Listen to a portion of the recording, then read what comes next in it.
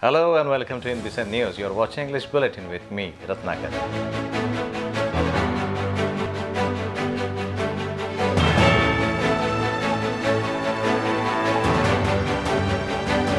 The written examination of HSC and SSC conducted by the MSB HSE will be held between April 23rd and May 21st this year, an official said on Saturday, while the higher secondary certificate exam will be conducted between April 23rd and May 21st.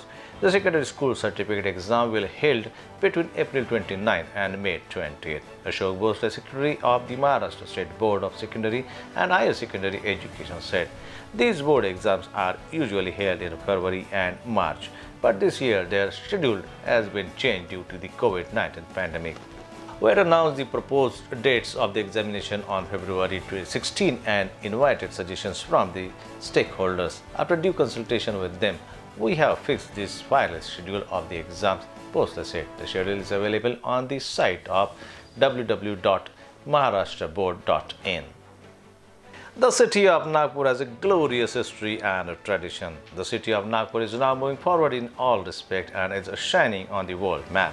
Nagpur Municipal Corporation has over the year played an important role in the development of Nagpur city. The city of Nagpur is very proud of the NMC leadership and the corporation has also on many occasions rendered assistance to the state and country, said Mayor Dayashankar Tiwari. Mayor Dayashankar Tiwari addressed the assembled dignitaries on the occasion of 70th Foundation Day of Nagpur Municipal Corporation.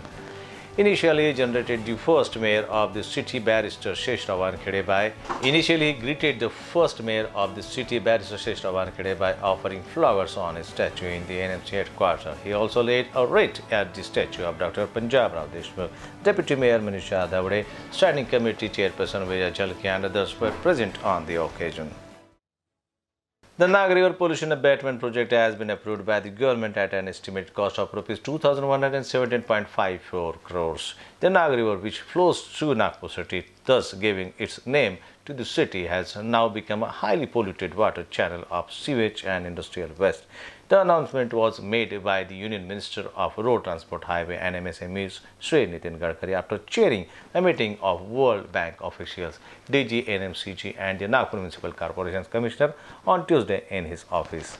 The project approved under the National River Conservation Plan will be implemented by the officials of the National River Conservation Directorate NRCD. It will reduce the level of pollution in the Nag River in terms of untreated sewage flowing solid waste and other various sports. It will reduce the level of pollution in the Nag River in terms of untreated sewage flowing solid waste and other various sorts of impurities flowing into the Nag River as well as its tributary rivers.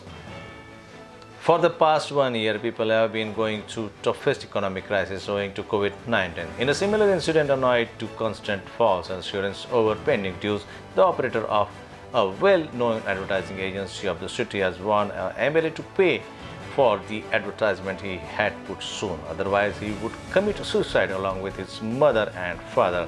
And the only person to be held responsible would be the MLA. The director of the advertisement agency has sent a message to the BJP MLA Mohan Mate of the city that at his best, he had put an advertisement on the occasion of the late Gopinath Munde's birthday, that is on 20, 12th December, Emirates birthday 28th December, and Union Minister Gadkari's birthday on 27th May. While the victim has been getting advertisement for nine years, MLA Mate owes the agency rupees 9,88,000. 995 new corona positive cases have been reported in the last 25 hours in Nagpur district. With the 10 deaths occurring on Tuesday, the death toll due to coronavirus pandemic has reached to 4,351. The dead includes 5 city patients, 2 rural areas and 3 patients from outside Nagpur district. The number of cured patients have reached to 1,38,465. Most of these patients have recovered during home isolation. 579 patients have recovered from COVID-19 on Tuesday. The district's recovery rate has reached to 91.30%. Among positive patients, 86 cases have been reported from AMC, 171 from GMC, 176 from IGGMC, 66 from NEERI, 45 from University, 404 from 404 from private laboratories and 47 from antigen testing laboratories. The district administration has called upon citizens to help the administration in controlling the pandemic by adhering to preventing measures such as wearing masks and maintaining social distancing.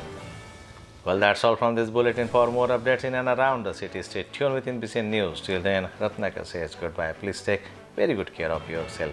Keep watching INBCN News. Sach dikhaye, bina chupaye.